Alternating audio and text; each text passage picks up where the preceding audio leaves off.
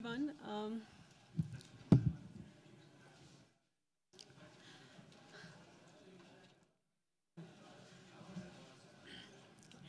Hi everyone, um, my name is Chandrani. I'm from Adobe Security uh, team. So I'm a adversary intel engineer at Adobe.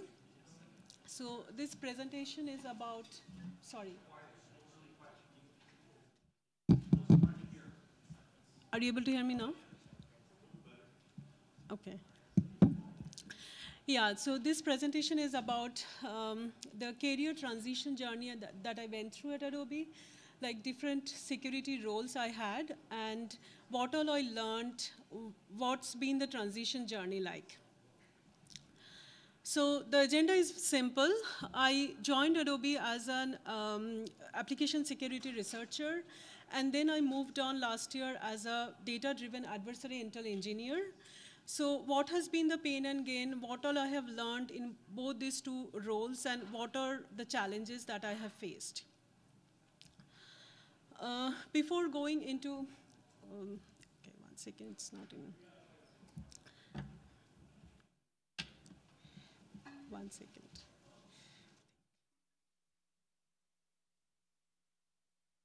Um, standing on the shoulder of giants, so basically, um, whatever I'm going to present, whatever I'm going to talk today, is based on the work and the knowledge that I have uh, acquired from my past experience and also based on many scholar work in this domain.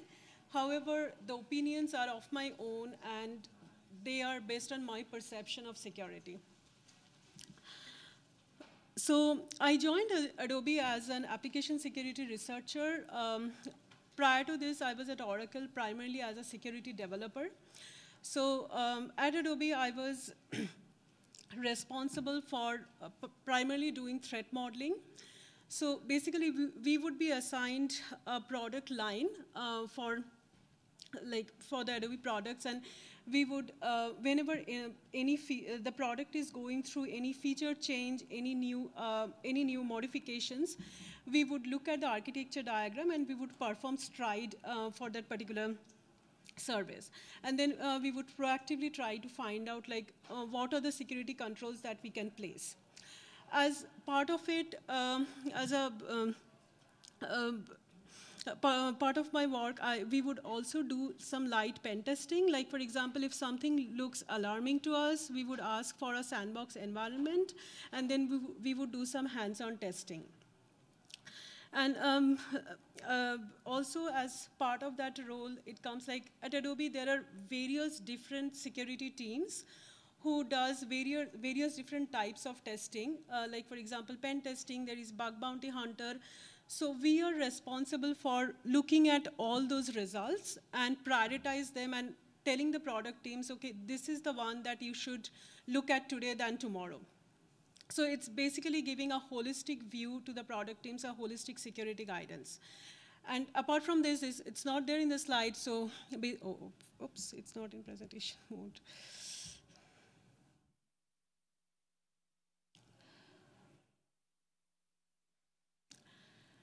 Um, uh, apart from this, what uh, we are also encouraged to write some uh, automation scripts that can find security issues at scale. However, the story behind the curtain is um, whatever we do, it's more like a governance driven. That means like we are we were not looking at the data per se, like where the adversary interest is going, where um, what are the vulnerabilities they are trying to uh, exploit, but it is more like one size fits all kind of an attitude. At the time the process was at Adobe, it was hard to scale in the sense like uh, the product teams, they would uh, submit a request, it would be triaged to one of our queues, and then uh, based on the priority, we, we would pick it up. Um, and uh, we have tried to employ the uh, um, uh, certain mechanisms to, so that the process becomes seamless. But then it was, there was a lot of uh, you know, manual work involved in the process, and it was not completely automated at that time. And uh, there is a little room for automation because always there is a huge pile of this review request would come in. And so we will have really less time to go put in some extra time and do some automation um, from uh, our, on our own. So while all this was going on, like for about three years, um, uh, about last year, there was a major org change going on at Adobe. So this was uh, like about uh, uh, wherein like since March 2022, so in, inside the security, a lot of revamp was happening, and uh, we were all hearing that a new team is going to form that's called Adversary Intel Team.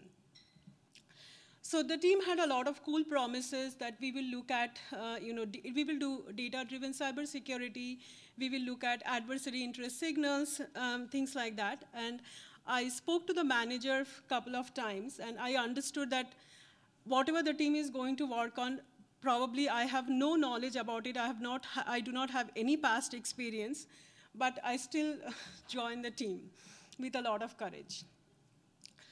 But the transition path has not been uh, very smooth. I still remember um, the first workshop we had as a team, like it was initially like a just a three-member team, most of us from AppSec background in mm, Adobe.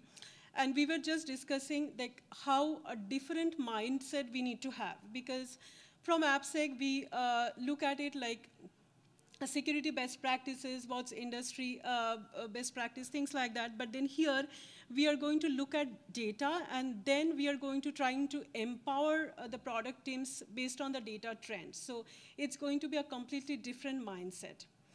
There needed a steep learning curve. Uh, the soon I attended the workshop, soon I, I was having more meetings, I understood that where I'm going to more, and it needed a very steep learning curve and then this feeling like, will I be able to do it? Am I making the right choice? Oh my God, so things like that. Stepping out of my comfort zone was not easy because um, uh, when I understood like what all new skills I have to learn, the list was long. I mean, here everything is probably not listed because it will, it will go on and on. I had to understand how to write programmatically data schema what are the industry norms, what are the best practices, what are the uh, most common attributes I need to have. I needed to learn uh, the methods of storing and processing data, the efficient method, what's the data platform being used. I had taken a few machine learning courses in my, under, eh, in my grad days, but then it needed a major uh, revamp. I needed a major brush up. Same for querying skills. And visualization, I had no experience at all. So yeah, things didn't happen overnight. Um, so um, at Adobe, we have this, uh, we have Azure subscription, so Databricks was an obvious choice.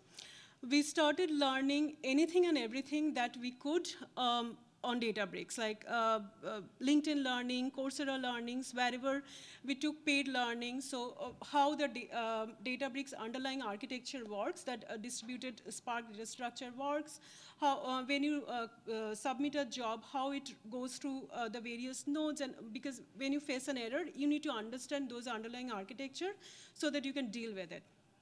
Then we learned PySpark. I, would, I wouldn't go through all of this, but yeah, machine learning, I uh, took a course, mm, again, that is offered by Stanford uh, by Andrew Ng. Uh, data storytelling also, we took a uh, paid course. So for each of this, and it's not like, okay, we are given three months time, complete all and come back. It's like a continuous process in our team, like learn and deliver, learn and deliver. So enough of learning, now show me some work. Adobe is not just paying me to just to learn, I have to deliver something. So the pro first project that we did was, um, as I was saying, that there are multiple security teams at Adobe, and um, like they are capturing various test results, right? There is pen testing team, there is dynamic testing, um, someone is running Wireshark tool. So there are multiple attributes that they are cap capturing in multiple ways.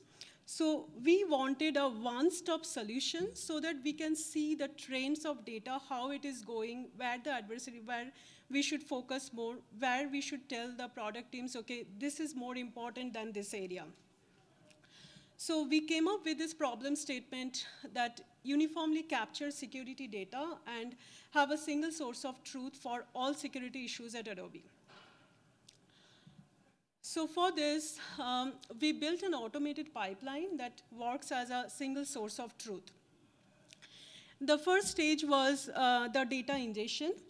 For data ingestion, we um, um, sat with the six different teams, uh, testing teams. We understood what all attributes they're capturing, understood like uh, what all we need to keep the common one. And then in the data processing layer, in Azure Databricks, uh, uh, we are doing more data refining. So in Databricks, there is a concept of uh, bronze, silver, and gold.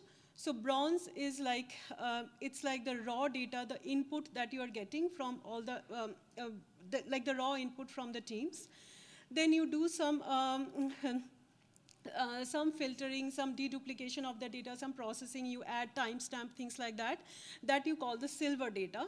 And then finally, you add maybe some machine learning uh, algorithm on top of it, um, maybe some um, aggregation logic, and that you write to the Databricks Delta table.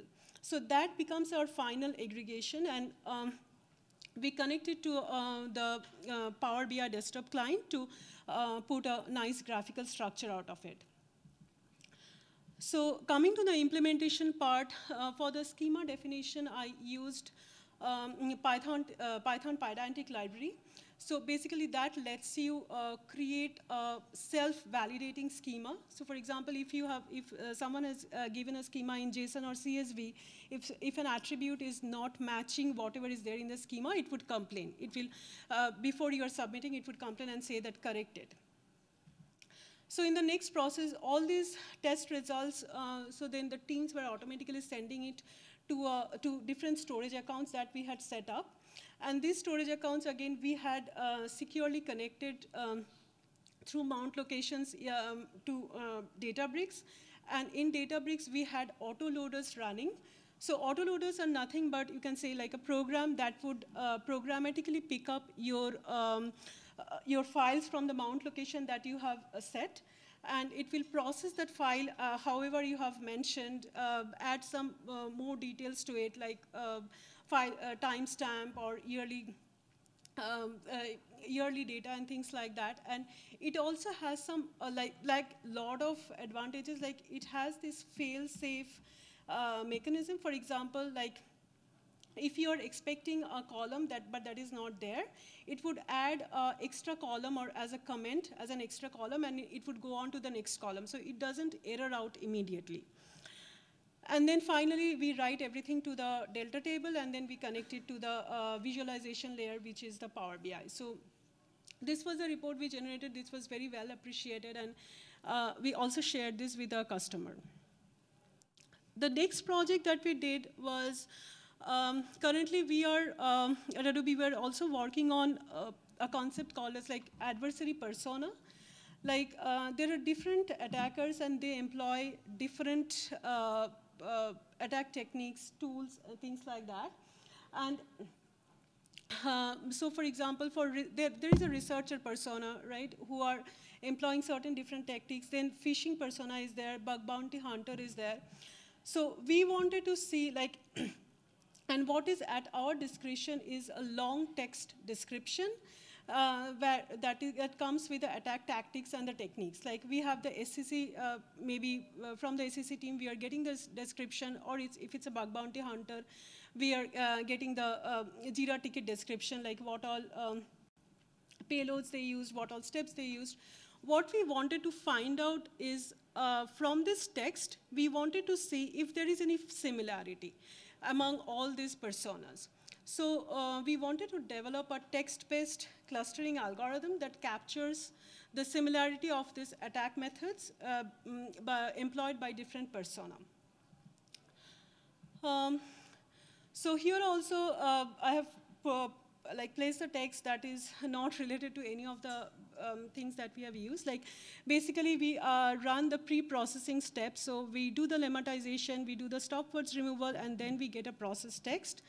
Finally, we do, uh, next step is we do the vectorization method. So here I pick the word to vec vectorization method that applies the CBOW that's called like continuous bag of words. So basically you give a word and based on the vectors that comes up, it gives you the nearest neighbor for that word.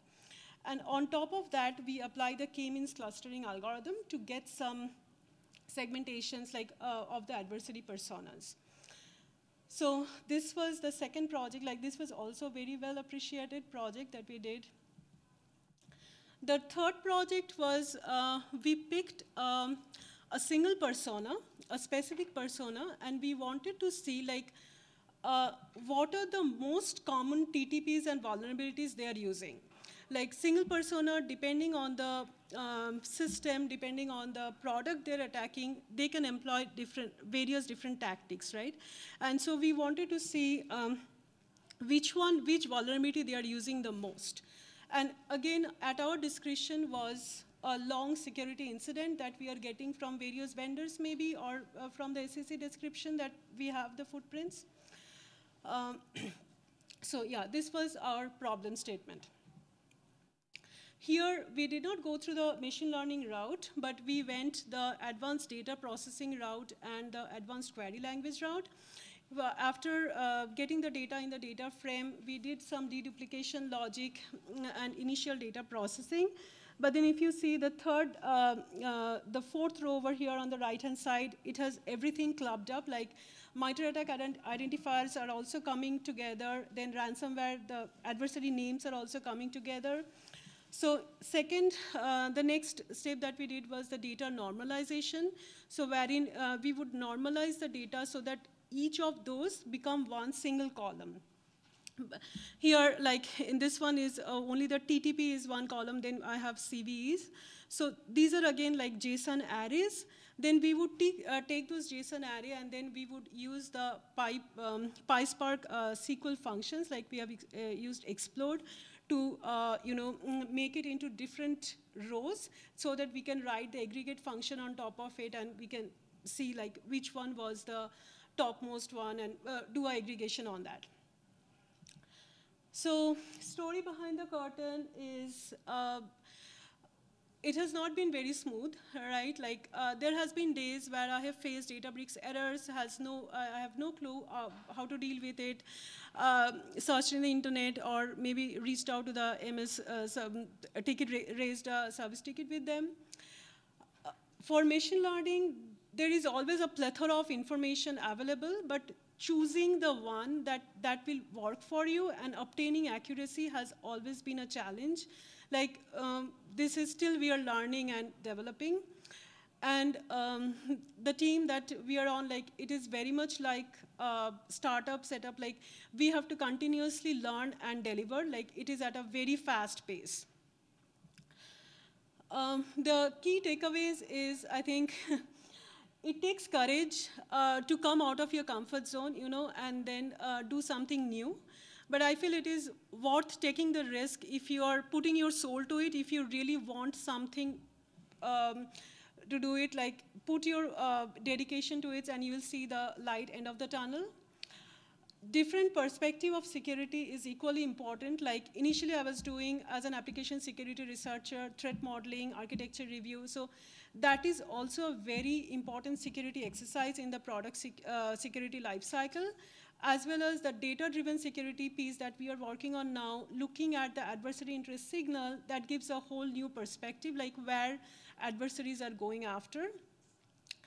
And it's not always that you have to change jobs, you know, to go to a whole new exciting role. You can be in the same company and uh, work at uh, different roles. And these are the some of the certifications and trainings that I have completed. Um, and yeah, that's all. Any questions?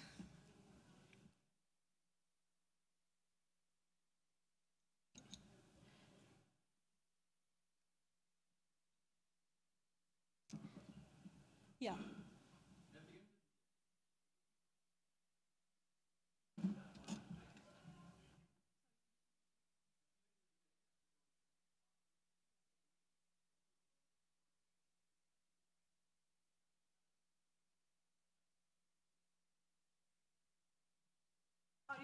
Asking about the transition journey or are you asking about the projects that we have done?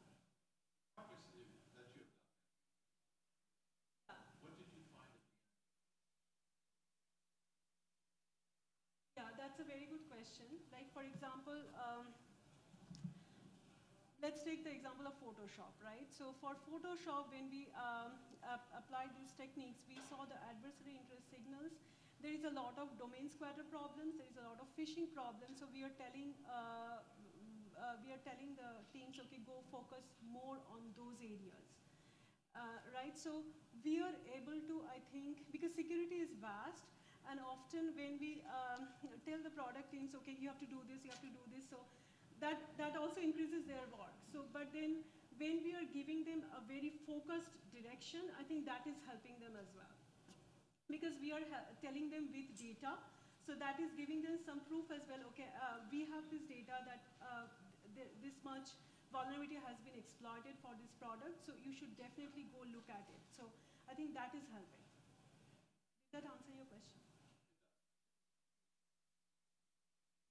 Is it fair to say that you went kind of more reactive to more proactive, I mean, with these insights that you're getting? Just target those who are targeting you, find out who they are, how they're attacking you? Yeah, yeah. So be, uh, before I was like more to um, like how we should be doing it, but now we are questioning about what we should go after, right? So that question we are trying to solve first, then uh, how we should be doing it. And uh, sorry for not being on the presentation mode. I couldn't really fix it. Uh, this was my first presentation, so yeah, thank you so much.